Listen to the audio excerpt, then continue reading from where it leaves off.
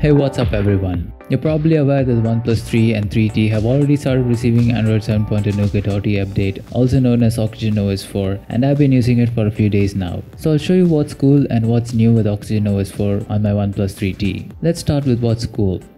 Oxygen OS is just a skin version of Android and it's pretty much stock-like with many customizations that favors OnePlus devices. Starting with the home screen, you slide down anywhere for notifications, slide up for Google Now, and slide right to access the shelf. Many manufacturers put something on the left end of their home screen, and shelf is something that OnePlus came up with. You can basically put any available widget that you want to access here and that's it.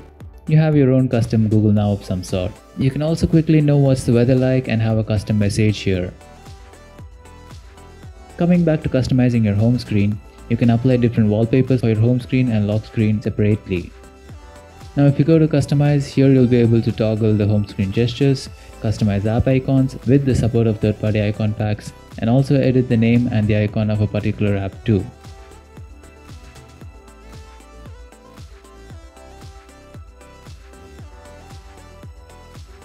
There was an option to customize the search widget, but now it's missing after updating to Oxygen OS 4. Now diving into the settings, you can see a separate tab for customization. The alert slider is basically the hardware slider on the left to toggle between silent, ring and do not disturb. Here you can simply customize how each profile is going to work. Coming to the buttons, you have the option to have on-screen navigation and also swap recent and back button to your liking. Each of these buttons can also be customized for a long press and double tap, and here's how I've customized it.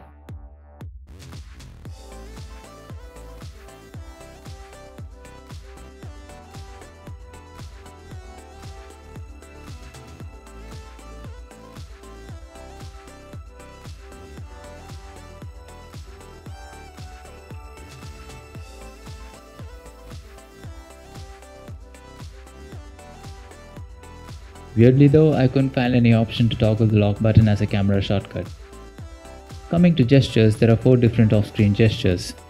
There's a double tap to wake, a circle to open camera, a V to toggle flashlight and some music control.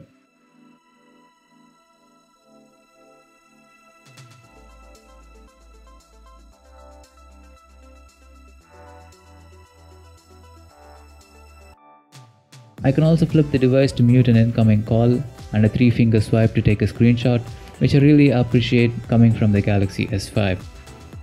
In the status bar, you can choose the style of your battery icon and also hide icons that you don't want to see, which I believe was in the System UI tuner previously.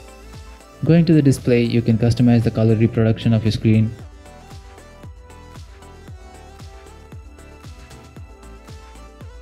and also have the option to choose between light and dark themes and also choose the accent colors.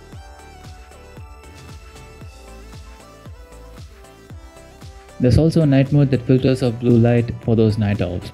Apart from that we have the proximity wake and some LED notification customizations. Under security you have the option to lock apps and these apps cannot be accessed until you authorize them. It's pretty cool because it's built right into the OS and you can keep the pattern invisible to those prying eyes.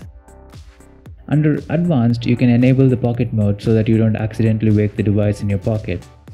And the recent app management allows you to choose between just normally closing an app or completely shutting it off. You can also schedule the device to restart at a particular time, but it cannot be enabled if you have set your device to lock itself after a restart.